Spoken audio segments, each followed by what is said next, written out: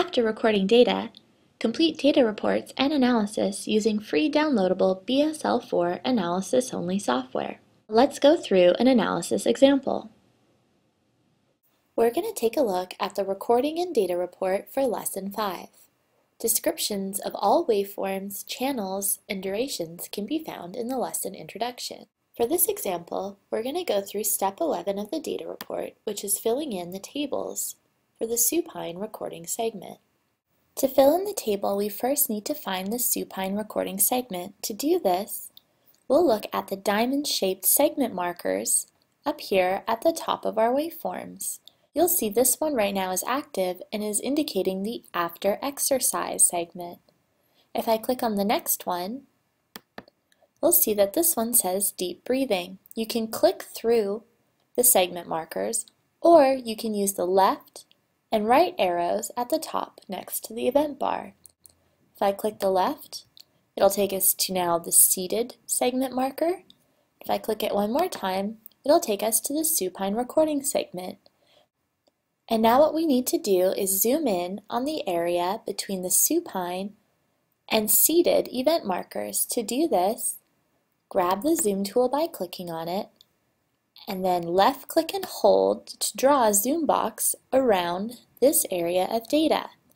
When we release, we'll have zoomed in on our supine segment and we can further zoom in on three cardiac cycles that we're going to look at for our two tables. For this table, we only need the raw ECG waveform, so what I'm going to do is hide the heart rate channel. To do this, you go to the top above our waveforms where we have our channel numbers, and we can hold down the Alt or Option key and left click to hide the heart rate channel. To unhide it, we would just do the same thing, hold down the Alt or Option key and left click, and again, the channel would come back into view. Next, what I'm going to do is show the grids. This is going to help us to adjust our baseline.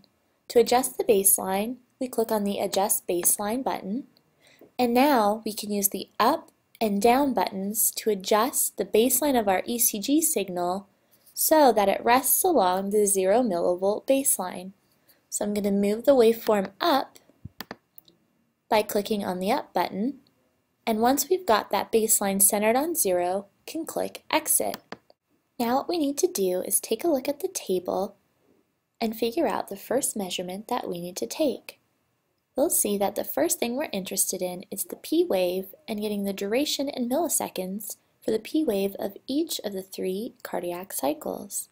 So first what we're going to do is grab the I-beam tool by clicking on it and we're going to highlight from the beginning to the end of the first P wave. Now what we're going to do is go down to the P wave line and right click in the cell and select Insert Single Measurement Value. Now we'll see we're looking for the delta T measurement of channel 1. We'll select this from the list and click on OK. This will enter the duration of the first P wave. Now what I'm going to do is for that same P wave, scroll down to the second table and we're going to take the amplitude measurement from the P wave. Again, we'll right click in the cell, select Insert Single Measurement Value, and this time what we're looking for is the peak-to-peak -peak value of channel 1, so I'll select that from the list and click OK. And now we've entered the peak-to-peak -peak value. We'll do the same thing for the next two cardiac cycles. First, highlight from the beginning to the end of the P wave, right click in the cell, insert the value, do the same for the amplitude,